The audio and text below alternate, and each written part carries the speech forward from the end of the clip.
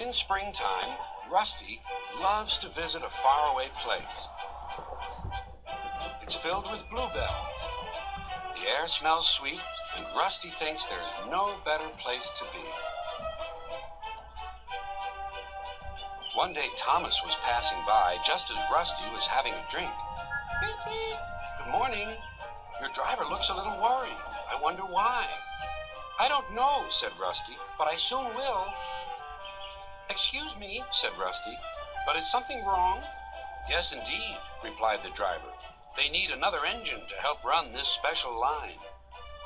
A Bluebell engine, laughed Rusty. Maybe I can find one. Later, Rusty saw Douglas and Percy. Rusty had an idea. Can you help me find another engine? Where? Where you found Oliver. You mean on the other railway?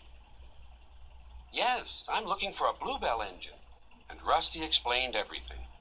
I'd like to help, but these days it's only diesels that go there. Then Rusty decided. So that's where I'll go. Take care. Rusty told the driver all about the plan. And that night he came back to the shed. The manager says he'll make a home for a Bluebell engine if you find one. Right, said Rusty. We'll find one tomorrow. It took them all of the next day to travel to the other railway.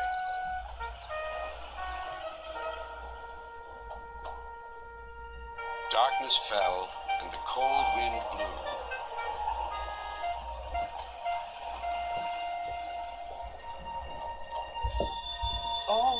What's that? But it was only the sounds of the lonely scrapyard. Diesels, silent and still, lined up on guard. Who are you? Rusty plucked up courage. I'm a shed and sidings inspection diesel. Uh, ha- have you any engines in the shed? No, none. Rusty rallied again. Uh, th- then uh, what about the sidings? One. We have one. Rusty grew braver still. Th- then I'll just go and inspect.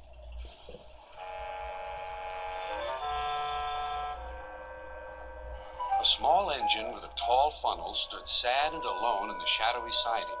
His driver was huddled in the cab, keeping him company. Excuse me, said Rusty. Do you like bluebells? The engine looked startled. Yes, uh, bluebells are beautiful. Then you're soon going to see lots of them because I'm getting you out of here. Everyone worked fast. It was difficult to set the fire, but soon it was glowing hot and Stepney had a good head of steam. Rusty's engineer agreed to be Stepney's fireman. So off they set, past the bleak and brooding lines of diesels. Where is he going? They hissed. Just down the line, replied Rusty. And they chuffered quickly away. We've done it, whispered Rusty. We're over the border and back on our own railway. Mission accomplished. When Rusty and the engine arrived in the valley, a big welcome awaited them. We shall mend you and give you a new coat of paint, said the manager. His driver was delighted. You lucky old engine. You've been saved by the Bluebell Railway. And my friend Rusty. I wouldn't be here if it weren't for Rusty. Now the little engine is as happy as can be and helps all the passengers who visit at Bluebell time. His name is Stepney, but everyone calls him the Bluebell Engine.